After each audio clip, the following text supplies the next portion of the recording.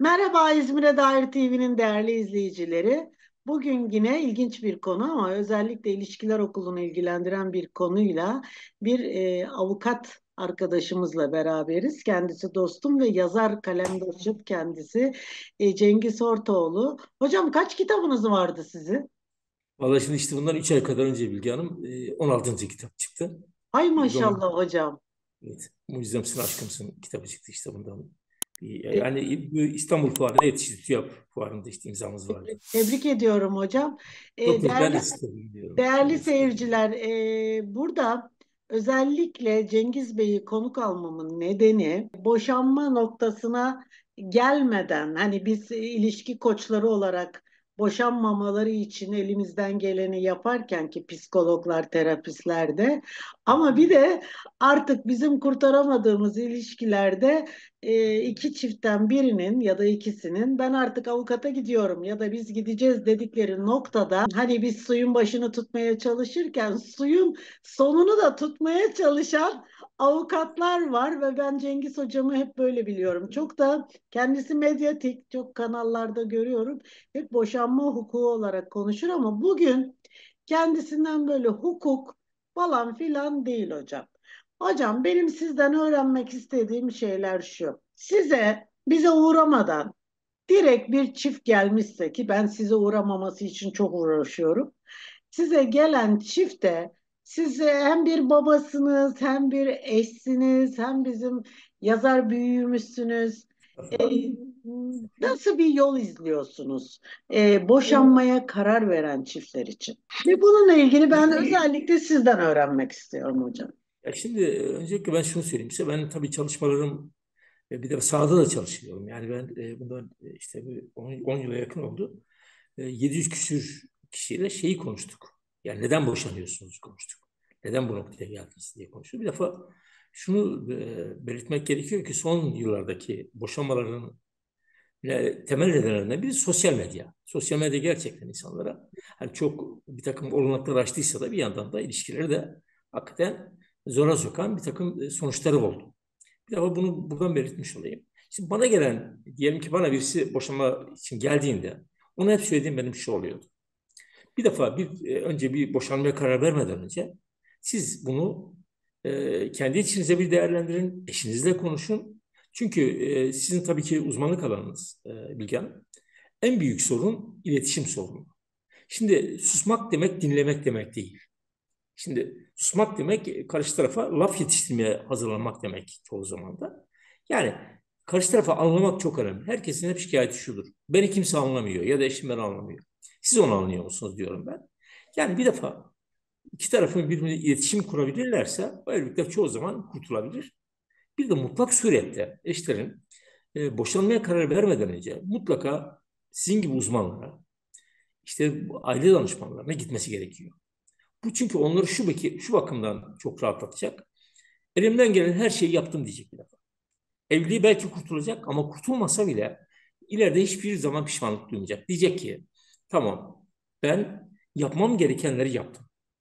Yani ben aile danışma merkezine de gittim. İşte ilişkilerle ilgili bu uzmana da gittim ve elimden geleni yaptım diyecek. Bu bir defa onun içini rahatlatacak. Aynı zamanda şu açıdan çok önemli ben çok önemsiyorum mutlak surette bir danışana gitmesinin. E, diyelim ki artık boşanmaya karar verdi iki tarafta. Hiç olmazsa o sürecin de sağlıklı işlemesini sağlıyor. Çok doğru. Çünkü en önemli şeylerden biri şu. Bakın Bilge Hanım en tehlikeli sürecin ben eşler açısından en tehlikeli sürecin bu boşanmaya karar verdikten sonra boşanma süreci olduğunu düşünüyorum. Çünkü orada neokorteks devreden çıkıyor. Tamamen limbik sistem devreye giriyor. Yani duygusal beyin. İki tarafta birbirini adeta bir düşman gibi görmeye başlayabiliyor. İşte hiç ondan beklenmeyecek yani bir davranışa girebiliyor. O yüzden de mutlak surette bir uzmanla hatta bence bu yol haritasını yolda yürürken bile mutlaka bir uzmanla çalışmalarına yarar olduğunu düşünüyorum. Yani ona gerçekten tarafları dinleyen ve doğru makul yol gösteren bir uzmanla çalışmalarının doğru olduğunu düşünüyorum. O süreç son derece tehlikeli ve hem psikolojik anlamda hem de aynı zamanda fiziksel anlamda kendilerini ve bu ilişkiyi yani iki tarafta zarar görmeden bitirebilmeleri için bir uzmandan yardım almalarının ben çok değerli, çok doğru olduğunu düşünüyorum. Yani bu beni çok şu anda e, şöyle söyleminiz üst üste geldi. Bu anlamda üst üste gelmesi etkiledi. Hocam hep şunu söyledik biz. Ben eşimi boşanırken tanıdım. Çünkü o limbik sistem dediğiniz o ilkel beynin devreye çıkıp hakikaten neokorteksin devreden çıkmasını çok güzel tanımladınız. Ee, o evlilik içinde göstermediği reaksiyonları boşanırken o agresif hareketlerini görünce belki birleşme ihtimali varken o davranışlarla daha da kesinleşip ayrılıyorlar. Buyurun devam edin hocam. Kızgınlık, öfke. Bakın limbik sistem de limbustan geliyor Latince. E, anlamı da yüzük demek. Aslında bir yüzükle birbirine bağlanıyorlar ve artık ondan sonra kıyametleri kopuyor. Yani şunu bir defa doğal karşılamak gerekiyor. Ya ben evlendim ama bu iş yürümüyor. Yani evliliğin yürümemesi demek Bilge Hanım, taraflardan birisinin kötü olduğu anlamına gelmez. Hı hı. Yani bu işin yürümediği anlamına gelir. Yani işte ya da biraz önce sizin söylediğiniz gibi en önemli şeylerden birisi o. Taraflar birbirlerini gerçek anlamda tanımadan evleniyor olabilirler. Ve belki de bazen iyi Görücü usulü, evet. Yani olabilir. Bunlar hepsi olabilir. Ya da ya da hani ya bir insan evlenirken onun tamamen bir e, ruh haline her şeyi öğrenemez. Doğru. Evlendi. işler yürümüyor. Tamam. Boşanmak da doğaldır. Yani ben artık bu işi yürütemiyorsam çünkü o artık kangren olmuş olan bir ilişki ise bu ilişkiyi sürdürmem hem benim için hem de çocuklarım için bir e, tehlike. E, bu işi bitirmemiz gerekir. Ben anlayamadığım şey şu Bilge Hanım. İnsanlar bunu doğal karşılamıyorlar. Mesela diyelim ki e, taraflardan birisi işte asla seni bırakmam diyor. Ben seni deli gibi aşığım sana. İşte ben sensiz yaşayamam diyor. Zaten bir insana sensiz yaşayamam dediğiniz andan itibaren bence orada çok büyük sıkıntı var. Artık o kişi sizden sensiz, sizsiz yaşamak için eline geleni yapacaktır. Çünkü o bir defa en büyük yani bağlı olmakla bağımlılık arasındaki farktır bu. Yani birisine bağlı olabilir, birisine bağımlı olmayın. Herkes bir olmadan yaşar yani. Bunda bir sıkıntı yok. Karşı tarafa böyle bir sorumluluk da yüklemeyin. Karşı tarafa böyle bir güç de vermeyin. Böyle bir güç de vermeyin. Bir güç veriyorsunuz. Yani tamam işte ben ben siz yaşayamıyorum. Dedirtmeyin. Yani o yüzden de hani bunu doğal karşılamak. Ama işte buradan neokorteksin devreye girmesi gerekiyor. Çünkü duygusal ilişkilerde Bilge Hanım e, çok kızgın hani Güllerin Savaşı diye bir film vardı bilirsiniz. Orada hani eşlerin birbirlerine yapmaca, yapmadıkları bir şey kalmadı. O çok güzel bir film. Bence evet. okullarda bir gösterilmesi gereken bir film. Yani burada iki tarafta makul düşünmeyi, anlamaya çalışmayı, normal karşılamayı bilmesi gerekiyor. Bunda da işte sizlere tabii çok iş düşüyor. Yani sizin uzmanlara gelip orada bunu nasıl yapmalıyım? Yani biz aynı uzman değil, aynı zamanda deneyimleriniz var. O deneyimlerden de e, yani çok e, sayıda insan dinliyorsunuz bu sorunu yaşayan. E, ve bu da size tabii bazen bir deneyim yaratıyor. Yani o bundan da istifade etmiş oluyorlar. Yani bilgi haritasını belirlerken bir uzmandan bence destek almalarının çok doğru olduğunu düşünüyorum. Diyelim ki hocam siz e, babacan tavrınızla ya da bir avukat olarak ya da her türlü açıdan konuştunuz ve bunları vazgeçiremediniz illa ayrılacağız diyorlar. O süreçlerde e, nasıl e, bir hukuk süreci ya da şöyle söyleyeyim e, o agresifleşmenin getirdiği duruma nasıl bir bakış açısıyla onlara yansıtma yapıyorsunuz? Yani e, çünkü sizin bakış açılarınızı çok seviyorum ben. Şimdi bir defa bir defa yapılan en büyük hatalardan birisi Bilge Hanım. Çocukları silah olarak kullanmak. Hı hı. Süreçte çocuğu ben alacağım, sana göstermeyeceğim gibi düşüncesi. En büyük hatalardan bir tanesi bu pantolona kadar alacağım düşüncesi. Yani bunlar bunlar tamamen aslında ben e, gerçekten bazı insanları görüşüyorum. Ya boşanma sürecinde kendisini tanımıyor. Diyor ki ben o zaman başka biriydim diyor. Kendimi diyor tanıyamıyorum diyor. Çünkü gerçekten o kızgınlık, öfke anlaşılır gibi değil. Ya aynı yastığa baş koyduğunuz bir insanla ilgili. Hiç olması güzel hatıraları bırakın geriye. Yani ben, e, bizi izleyenlere şunu tavsiye ediyorum. Bir ihtilaf olabilir. Bazen vazgeçmek kazanmak demektir. İlla her şeyi alacağım, illa ben tam hakkımı alacağım gibi yerine haklı olmak yerine mutlu olmayı seçin diyorum ben. Biraz daha azalın, uzlaşın. Çünkü yıllarınızı bir savaş halinde geçirmeyin. Çünkü o geçen her zaman hayatınızın bir parçası. Diyelim ki bir insan 80 yaşında yaşadığını düşünelim. 4 yıl, 5 yıl mahkemelerle uğraşmıştı. Daha çoğunu almak için. Ömrünüzün yüzde beşini, yüzde altısını bir davayla harcamayın. Yani maksimum olanı söylüyorum ben. Yani bu bu bu değmez. Alacağınız herhangi bir şey için değmez bu.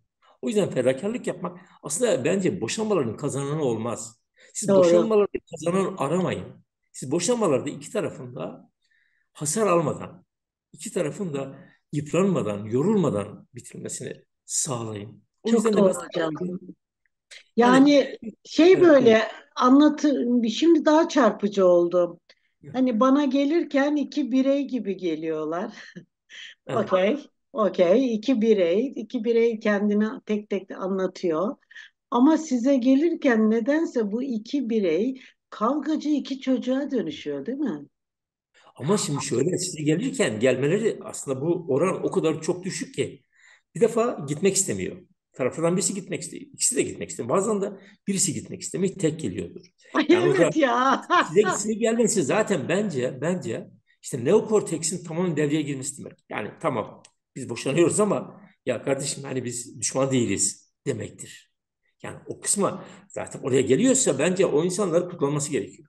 Çünkü bu bu işin sağlıklı yürümesinin siz yolunu açıyorsunuz. Yani Yani aslında mutlu bence. olarak ayrılmak yerine acıtarak, intikam alarak, yani Tabii. onda bir iz bırakarak ama kötü bir iz bırakarak. Ya size ben bir tane örnek vereyim. Trilyoner bir kadın, trilyoner. Yanıma geldiğinde yani otomobil işte korumalarla falan geldi. 10 bin lira nafakayı almak için savaş sürdürüyor. Yıllarca uğraşmış işte daha çoğunu almak için de bana geliyor. Dedim ki kendisine bakın dedim babası kanser olmuş annesi hasta kendisi hasta 5-6 yıldan beri bir mücadele veriyor. Ona diyor gününü göstereceğim diyor. Ve ben aşağı yukarı 3 saatimi ayırdım kendisine.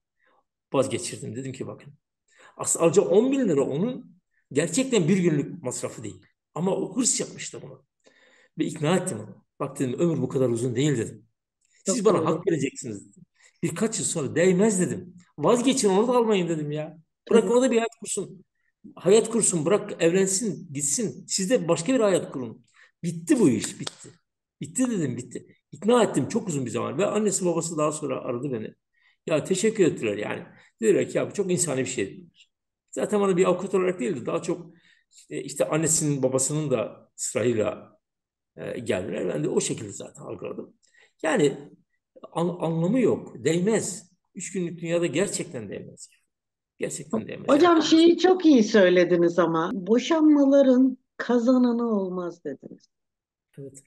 Evet. Yani e, gelin el ele sıkışın, anlaşın. Yani üç aşağı beş yukarı hani ama bir uzlaşmaya gelin. Ve burada kendi hayatınızı geri alabilmek için uzlaşarak ayrılın. Evet. Ama biz tersini yapıyoruz hep. İşte ben hep şunu tavsiye ediyorum bizi izleyenlere. Lütfen bu konuda anlaşmalı boşanmaya gidin. Bir protokol hazırlayın. Anlaşın bir şekilde. Yine ileride nafakayı arttırmak için şunun için dava açabilirsiniz. Zaten bence şu çok önemli bir şey. Bir insan, bir kadın başarı hikayesini yazmalı. Nafaka peşinde koşmamalı. 305 lira için, 1000 lira, 2000 lira için eski eşinden nafaka alacağım diye mesleğini yapmayan insanlar tanıyorum. Tabii. Ya bunu hırs yapmış. Yani bu gerçekten bir kadın başarı hikayesini yazacak. Bunu Türk kadını bunu yapar. Binlerce de örneğini biliyorum. Yani burada bir şey için yani bu bunu yani eşiyle olan ilişkisinin e, Bilge Hanım bir şekilde bitmesi lazım. Unutmalı. iki taraf da unutma hakkını kullanmalı. Eski hatıraları kalmalı zihninde. Yani o savaşı yıllarca sürdürenler var. Yani mesela aradan 20 sene geçmiş halinden nafaka savaşları sürüyor. Hocam Hatta bu şey ha, söyleyin pardon. Şimdi bir mesela bir e, danışanım, danışanım değil takipçim daha doğrusu. Ya bana yazmış işte. Diyor ki tam diyor tatile çıkacağız eşimle diyor. E, sarı bir zarf geldi tebligat diyor. Eşim diyor nafakayı arttırmak için dava açmış diyor. Tatile gitmekten vazgeçtik moralimiz sıfırıydı diyor. Yani bu işte bu bu değmez. Bu değmez. Ya bırakın iki tarafta bir bıraksın özgür. Özgürsün. Ya siz e, e, siz iki bireydiniz, evlendiniz. Daha önceki hayatınız var değil mi? Daha önceden bir hayatınız vardı. Bu iş yürümedi. Hoşça kal. Yürümüyor. Hoşça kal Ama diyeceksiniz. hocam kal. Türkiye'deki şimdi ben sosyoloji siz anlattıkça sürekli bir şey uyanıyor bende. Sosyolojik olarak bakıyorum Avrupa ile burayı kıyasladım. Avrupa'da evlenmek, ayrılmak hayatın bir parçası ve sıradan bir olay. Ama Türkiye'de evlenmek, o şatafat, o masraflar tabii, o takılar, bir sürü şeyler sanki hayatımızın merkezinde büyük bir olaymış gibi.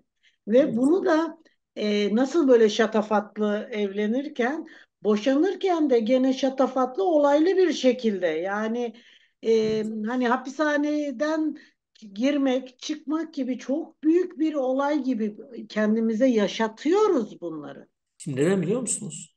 Bakın evliliğe çok büyük bir anlam yükleniyor. Evet. Evlilik bir son gibi algılanıyor. Evlilik bir son gibi. Yani işte bir düşünsenize bir genç kız yetiştiriliyor.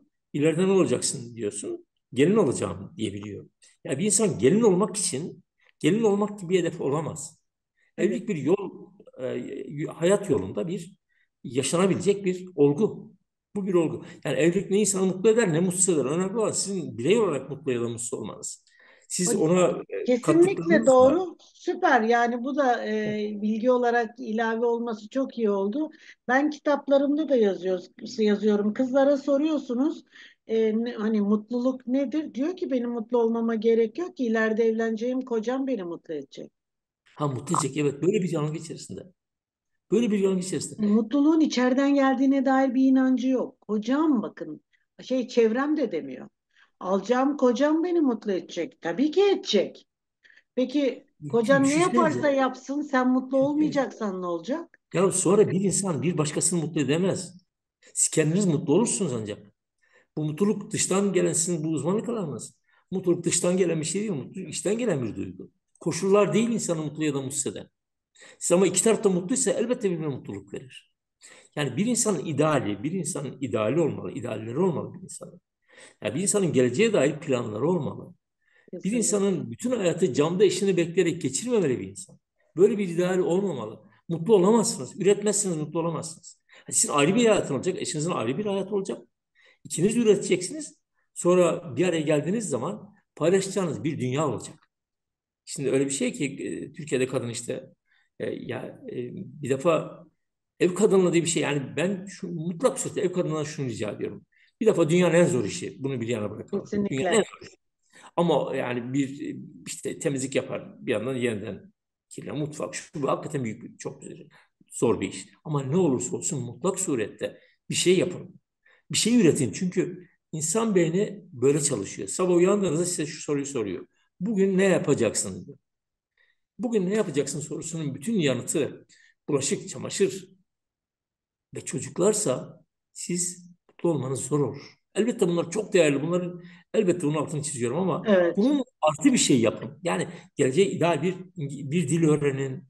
Bir işte kursa gidin. Bir şey Evet. yapın eğer maddi anlamda sıkıntınız yoksa. Bir şey yapın yani bir e, sizi heyecanlandıran, e, sevdiğiniz bir şey olsun spor yapın, bir şey yapın yani mutlak surette. Yani o yüzden hani o zaman eşiniz de mutlu olur, siz de mutlu olursunuz. Çünkü e, eşinizin sizi mutlu etmesine böyle söylediğiniz gibi Tabii gerek yani kendi mutluluğun için, kendin için bir şeyler yapan kişinin dışarıdan bir beklentisi olmaz.